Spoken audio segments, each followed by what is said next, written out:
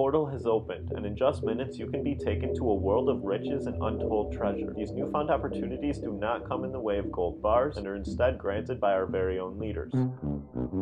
Regardless, take the few minutes and watch this video for all the information you need from the recent legal trouble the Biden-Harris administration faces, including threats to cancel the debt relief program. Stick around until the end to hear how it will affect you and for your next steps to get this $20,000. Okay, quick review. The Student Debt Relief Program provides eligible borrowers with the ability to discharge all or a portion of their federally held student loan debt. Borrowers who qualify with full eligibility will receive $20,000 in forgiveness, and those with partial eligibility will receive $10,000. The distinction between the two award amounts comes in way of whether you have received a Pell Grant or not, which most likely would have occurred if you applied for federal student aid through FAFSA and had a reported income around $60,000 or less. To qualify for student loan debt relief at all, you must have had an adjusted gross annual income as an individual of less than $125,000 or less than $250,000 for families in 2020 or 2021. Since the plan was announced by the Biden-Harris administration, they have maintained their position that it is legal, justifying the policy under a 2003 law authorizing the Secretary of Education to alleviate the hardship that federal student loan recipients may suffer as a result of national emergencies. If you would like more information on this, there is a link in the description to the Justice Department's August 23rd memo explaining the legal justification the White House has in forgiving this debt. Simply put, the current administration claims they are justified as a result of the Higher Education Relief Opportunities for Students Act of 2003, commonly referred to as the HEROES Act, and previously invoked by the Trump administration to begin the payment pause on federal student loans at the beginning of the COVID pandemic. Recently, however, six GOP-led states, including Nebraska, Iowa, Arkansas, Missouri, Kansas, and South Carolina, filed a lawsuit stating the administration has overstepped its authority by creating the forgiveness program without going through Congress, as they claim the plan will threaten the revenue of state entities which profit from federal student loans due to many commercial FFEL borrowers consolidating their loans into direct loans to qualify for relief, reducing the amount of interest income earned by the state. Hours before this case was filed, however, the Biden administration scaled back eligibility for the debt relief program, saying commercial FFEL borrowers could no longer consolidate to qualify for the one-time relief, undercutting the state's claims. As a result of this, last Thursday, October 20th, U.S. District Judge Henry E. Autrey of the Eastern District of Missouri ruled on the matter, denying the bid to block the Biden administration from moving forward with the student debt relief plan, specifying while plaintiffs present important and significant challenges to the debt relief plan, the current plaintiffs are unable to proceed to the resolution of these challenges, as they lack the standing to stop one of the administration's signature economic policies. I'll link the lawsuit in the description below if you'd like to read it over. Don't forget to like the video while you're down there. The following day, Friday, October 21st, the 8th Circuit Court of Appeals issued a temporary order which prohibits the Biden administration from discharging any student loan debt until the court can make a ruling on the emergency request set forth by the aforementioned GOP states. Hopefully, this will be an expedited process, and briefs were recently due from each side this past Monday and Tuesday. So, what does this actually mean for you, and should you still be optimistic that you'll receive student loan debt relief? You can still apply for student loan debt relief on studentaid.gov, which you can get to by either Googling student loan debt relief application or clicking the link in the description. First off, you must apply no later than December 31st, 2023. You will need to enter some brief information about yourself or the borrower you are applying for, such as first and last name, social security number, date of birth, and your contact information. You will then attest to the following three statements. The whole process only takes a couple of minutes. Additionally, the Department of Education already has income information for more than 8 million borrowers, but if they do not have yours, they will be reaching out to you and requesting additional information, so keep an eye on your email for that. I was going to upload this video this past Friday, but I decided to hold off because I really thought the courts were going to make a decision by end of the week. Obviously, they have not, so make sure you subscribe to the channel and hit the bell to get notified when the update video regarding their decision finally comes out. Like the video and leave any comments down below. As always, I'm Patrick Zimmerman. Thank you for your time and have a nice day.